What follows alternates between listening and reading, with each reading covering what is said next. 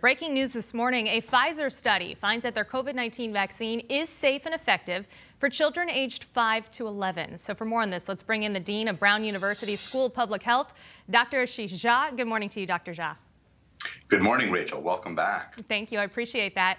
Now, Dr. Jha, a lot of people tuning in this morning across the country are now going to be asking themselves should they, in fact, vaccinate their children? Do you think parents should feel safe doing that? Yeah, so I do, and I'll tell you, I have a nine-year-old, and I'm going to vaccinate him as soon as it's authorized by the FDA. Now, I want to see more of the data. Right now, it's just a press release. Uh, but what we know is that kids, while they're less likely to get sick than adults, uh, still get sick. We saw about 2,000 kids getting hospitalized every week in this country from COVID. And so I plan to do it as long as the full data that we see really pans out the way the press release suggests it will.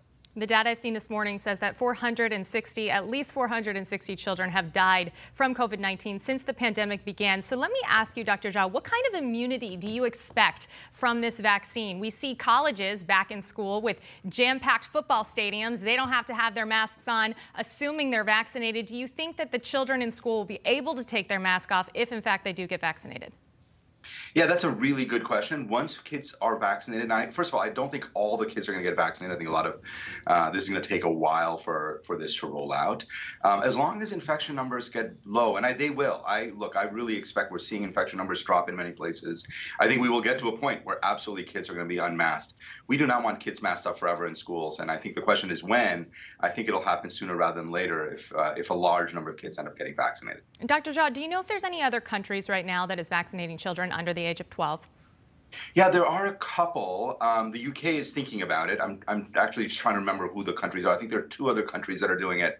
I don't want to guess off the, the top of my head and get it wrong, but the, it is happening. And I think what you'll see with this data is more countries joining in in the, in the next few uh, days and weeks. Okay, so let's switch now to booster shots. Of course, a big talker this morning as well. The FDA has rejected the Biden administration's plan for that third shot for most Americans.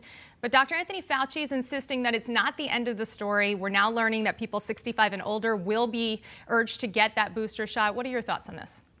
Yeah, I thought the FDA panel largely got it right. Um, they what they said was that look, the high priority should be high risk people, uh, people over 65. Now the data from Israel is people over 60, so we can debate 60 versus 65.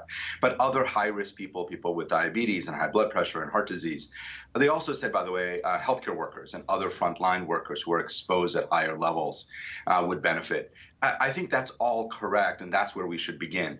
You know what to do with the 20 year old who's healthy, whether they need a third shot or not. I think I want to wait for more data. I suspect we'll have it in the next couple of months, and we can make a decision down the road based on what the data shows. To elaborate a little bit more on that, Dr. Jha, we heard the Biden administration say that they will be urging everyone who's received the first two doses to, in fact, get that third booster dose. But as you mentioned, we have a different category of humans, such as the 20 year old who is healthy, and we still have plenty of people who haven't received the first two doses. So, why do you think it was that President Biden pushed so hard on everyone getting access to those booster shots? Yeah. Well, first and foremost, I think and we all agree that what everybody needs to be doing is getting that first shot. So if you haven't gotten the first shot, you got to get your first shot. Uh, you do not want to end up in the hospital. You don't want to don't end up in a ventilator, and that's what we're seeing too often for people who are unvaccinated. You know what the Biden administration was doing, and I think this is Dr. Fauci and Dr. Walensky and others, is looking at data from Israel. Israel is to giving third doses to everybody over, mm. I think, 16, but certainly to, to the average healthy 20 year old is getting that booster shot in Israel. They were looking at the data from Israel that suggests uh, that people do benefit. Uh, I think that benefit is small right now. And so I think the FDA panel got this right. My sense is the Biden administration was going based on the primarily the Israeli data uh, and Israeli practice, which is to give boosters to everybody.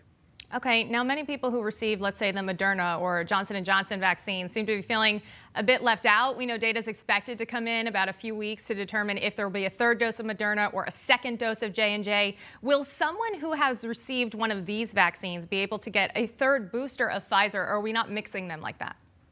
Yeah, you know, the mixing question is a really good scientific question. I think many of us have been interested in whether you actually benefit from mixing. Mm. We have that trial going on as well. I mean, obviously, in this pandemic, we're learning new things all the time. We're learning uh, whether the mixing is going to benefit or not. I think we'll have that information in a few weeks. I think I got Moderna. I expect we'll have data on Moderna in a few weeks.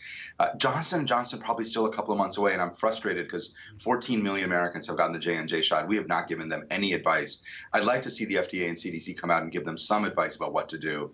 Uh, all of it coming soon. We just want to be driven by the data on all of this stuff.